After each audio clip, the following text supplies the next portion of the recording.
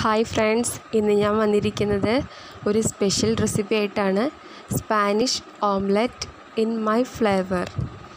അതാണ് ഞാനിതിനിട്ടിരിക്കുന്ന പേര്. സ്പാനിഷ് ഓംലെറ്റ് ആണ്. അതെങ്ങനെ തയ്യാറാക്കുന്നതെന്നൊക്കെ നമുക്ക് കാണാം. വെൽക്കം ലിനൂസ് വേൾഡ് എന്ന യൂട്യൂബ് ചാനലിലേക്ക് സ്വാഗതം. നിങ്ങൾ ആദ്യമായിട്ടാണ് എന്റെ ചാനൽ കാണുന്നതെങ്കിൽ സബ്സ്ക്രൈബ് ചെയ്യണം. ഇഷ്ടമായ ലൈക്ക് ചെയ്യാനും ഷെയർ ചെയ്യാനും മറക്കരുത്. അപ്പോൾ നമുക്ക് ഈ സ്പാനിഷ് ഓംലെറ്റ് എങ്ങനെയാണ് തയ്യാറാക്കുന്നതെന്ന് നോക്കാം. അതിനാവശ്യമായിട്ടുള്ള ഇൻഗ്രീഡിയൻസ് എന്തൊക്കെയാണെന്ന് നോക്കാം. നമുക്കിതിന് മുട്ട വേണം. മൂന്ന് മുട്ടയാണ് ഞാനിവിടെ എടുത്തിട്ടുള്ളത്. പിന്നെ ഒരു പൊട്ടറ്റോ വേണം. പിന്നെ വേണ്ടത് ഒരു സവാള. പിന്നെ നമുക്ക് ക്യാബേജ് വേണം. ക്യാബേജ് ഒരു കപ്പോളം. പിന്നെ വേണ്ടത് പച്ചമുളകാണ്. ഞാനിവിടെ രണ്ട് പച്ചമുളകാണ് എടുത്തിട്ടുള്ളത്. പിന്നെ ഒരു ഒരു തണ്ട് കറിവേപ്പില. പിന്നെ നമുക്ക് കുരുമുളക് പൊടി വേണം. ചീസ് വേണം കേട്ടോ. ചീസ് ഞാനിവിടെ ചീസ് സ്ലൈസസ് ആണ് എടുത്തിരിക്കുന്നത്. ഗ്രേറ്റ് ചെയ്ത് എടുക്കാം. പിന്നെ ആവശ്യത്തിന് ഉപ്പ് വേണം. നമുക്ക് ഓയിലോ ബട്ടറോ യൂസ് ചെയ്യാം. അപ്പോൾ നമുക്ക് തയ്യാറാക്കാൻ തുടങ്ങാം. ഫസ്റ്റ് നമുക്ക് ഒരു ബൗളെടുത്ത് ഈ മൂന്ന് മുട്ട പൊട്ടിച്ചൊഴിക്കാം. ഓരോന്നായിട്ട് മൂന്ന് മുട്ടകൾ പൊട്ടിച്ചൊഴിക്കുകയാണ്. മൂന്ന് മുട്ട പൊട്ടിച്ചൊഴിച്ചതിന് ശേഷം അതിലേക്ക് ആവശ്യത്തിന് ഉപ്പും പിന്നെ അര ടീസ്പൂൺ പെപ്പർ പൗഡർ കുരുമുളക് പൊടി ആഡ് ചെയ്യുന്നുണ്ട്. എന്നിട്ട് നന്നായിട്ട് ബീറ്റ് ചെയ്ത് വെക്കാം. ഇത് നന്നായിട്ട് ബീറ്റ് ചെയ്ത് മാറ്റി വെച്ചേക്കാം.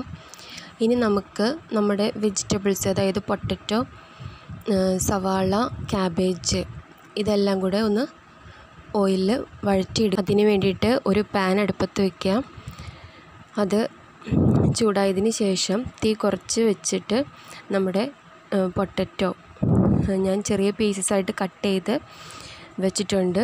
വളരെ തിന്നായിട്ടുള്ള പീസസ് ആണ് കേട്ടോ അത് കുറച്ച് ഉപ്പും കൂടെ ചേർത്ത് വഴറ്റി കൊടുക്കാം.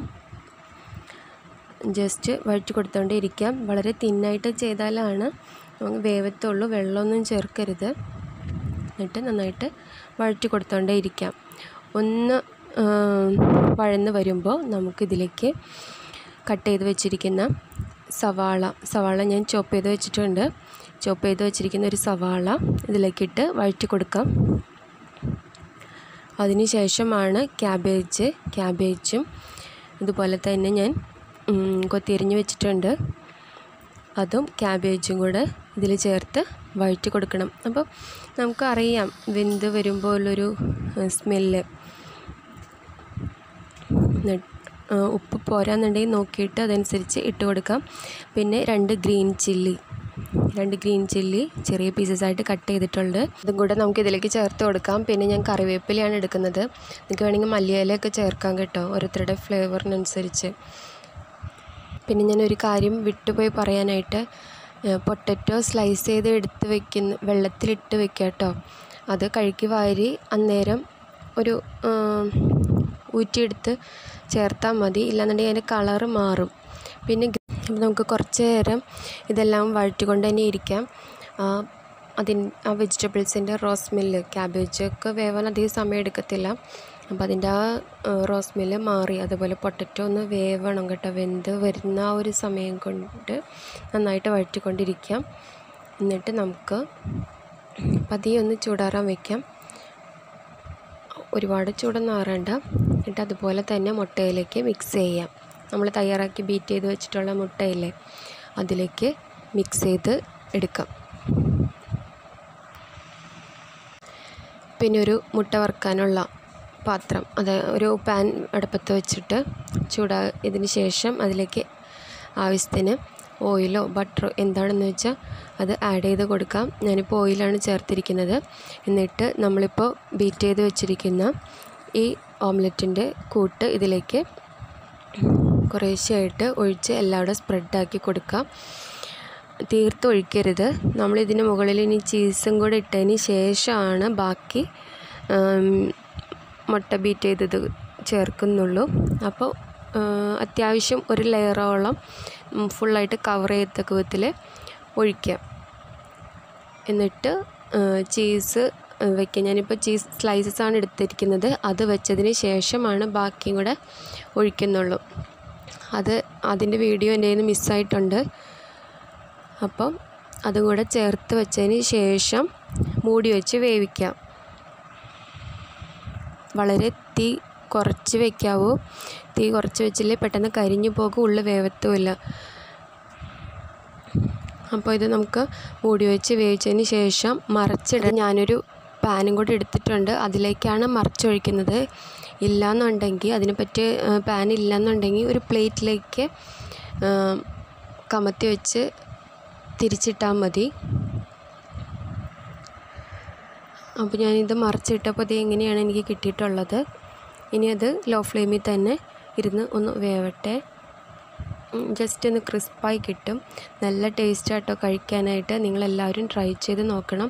പിന്നെ ഒരു കാര്യം കൂടെ നമ്മളിപ്പോൾ ഈ ചീസൊക്കെ ഇട്ടതിന് ശേഷം നമുക്ക് പെപ്പർ പൗഡർ അല്ലെങ്കിൽ ചതച്ച മുളക് വേണമെന്നുണ്ടെങ്കിൽ അതും ആഡ് ചെയ്യാം. എരിവ് കൂടുതൽ വേണ്ടവർക്ക്. എനിക്കും തോന്നിയായിരുന്നു കഴിച്ചപ്പോൾ ഇച്ചിരി കൂടെ എരിവ് വേണമായിരുന്നു എന്ന്. എന്നുവെച്ചാൽ ഗ്രീ പച്ചമുളകിനധികം എരിവില്ലായിരുന്നു.